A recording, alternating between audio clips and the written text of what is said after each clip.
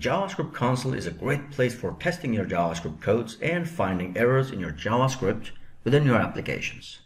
But all the changes we made in the JavaScript console will disappear as soon as you refresh the page. That's why when we develop web applications, it's a common practice to put our JavaScript code into a JavaScript file that's separate from our HTML file, like we do with the CSS for example. So now we'll learn where and how to link that separate JavaScript file to HTML file. In the previous lecture, I have mentioned that you can use JavaScript in many different places, such as on browsers, web servers, and desktop applications. For now, we'll focus on learning about how JavaScript works in a browser. The browser is the most common place we'll encounter JavaScript and easiest place to try out JavaScript programming. Browsers have many different functionalities, but in simple words, browsers mainly do the following three things. First, Browsers display web page contents which are structured using different HTML tags. Second, browsers apply styles to web page content using different CSS rules.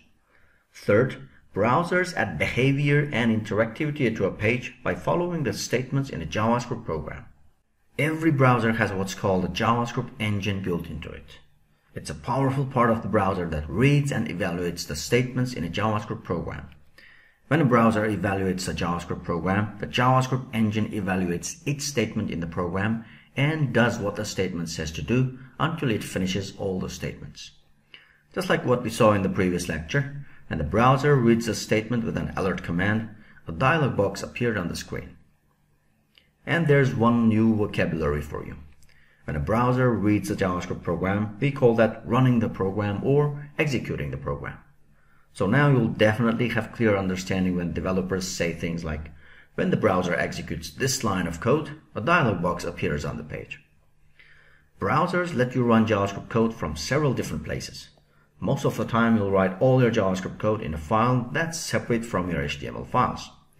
And there are two steps in writing and executing JavaScript from a file. First, you create a JavaScript file with a .js extension. Then you link or add that JavaScript file to an HTML file. Let's try to create a new JavaScript file. To code along with me, first download the course folder from the link in the description below, unzip it and open it with your favorite code editor. Here I'm using Visual Studio Code. From the course folder, open the exercise folder called Add JavaScript to HTML page. And then open the index.html file using Google Chrome.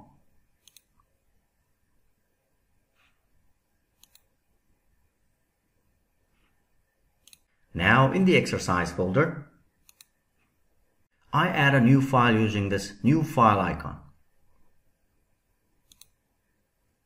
I name it demo followed by the .js extension.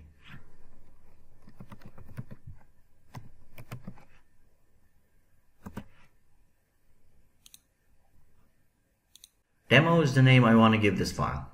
A JavaScript file doesn't have to be named demo. You can name the file anything you want but it has to be with a .js extension. I also add a line of code to this new JavaScript file. I'll just use the alert command with a message from demo.js. Now the question is, how do we link this JavaScript file to our HTML file? To link this JavaScript file to our HTML file, we can use the HTML script tag. The HTML script tag has src attribute, which stands for source just like the HTML image tag. The value of src attributes instructs the browser where to find and load that JavaScript file. Now in the index.html file, I'll add a set of opening and closing script tags inside the head of document.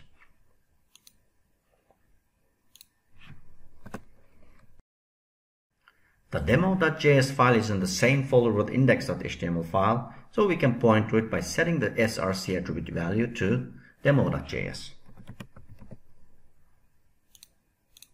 demo.js file is now linked to the index.html file in the current exercise folder. That means the index.html file can now run JavaScript codes which are written inside this demo.js file. I'll flip back to the browser, refresh the page. As you can see, the browser displays the alert dialog. We can also add JavaScript codes directly inside the HTML by placing our JavaScript codes between the opening and closing script tags like this. I'll add another set of opening and closing script tags inside the body tag and then write another alert statement with a message from HTML codes. I'll save again. And notice how the alert in the linked file demo.js runs first and then the alert from the HTML codes.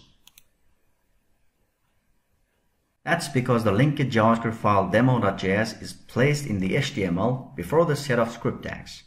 We can also place this code in the head of the document. For example, I'll cut the script tags out of the body and paste them below the first set of script tags. I'll save again. And notice how the browser runs each in the same order as before. Now one thing you can do is link to a JavaScript file using the src attribute and insert JavaScript code inside the same script tags like this. Once you set a source, anything between the script tags gets ignored by the browser. So make sure that you have only one set of script tag per linked file and another set of script tags for any JavaScript you add directly inside your HTML codes. And it's perfectly common and okay to have more than one set of script tags in an HTML file like this. This is necessary if you want to link more than one JavaScript file to a page. I'll go ahead and delete the second script tag because I did not have that file, so I don't need it. And last but not least, you can place the script tag almost anywhere in an HTML file, and they all work fine most of the time. But it's a best practice to place the script tags within the body just before the closing body tag. This will help the browser load and display the HTML with its CSS before running the JavaScript. So place your script tags inside the head of your HTML document only if you have to. Let's see what happens if I move the script tags to the bottom of the page just before the closing body tag.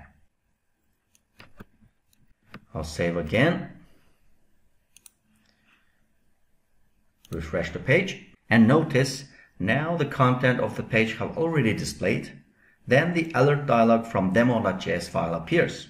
I'll click OK then the alert dialog from the HTML codes appears.